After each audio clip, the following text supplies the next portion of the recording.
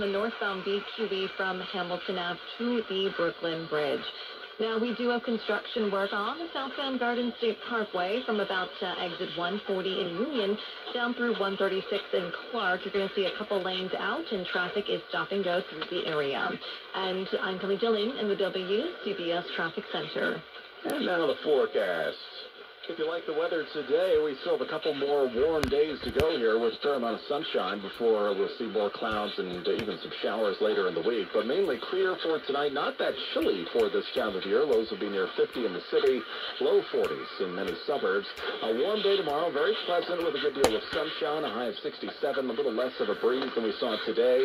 Partly cloudy, a mild tomorrow night, low 52 in the city. It'll be in the 40s. Back to a little more sunshine Saturday, a somewhat cooler day. High temperature Saturday around 59 and we may see some showers move back in by Sunday.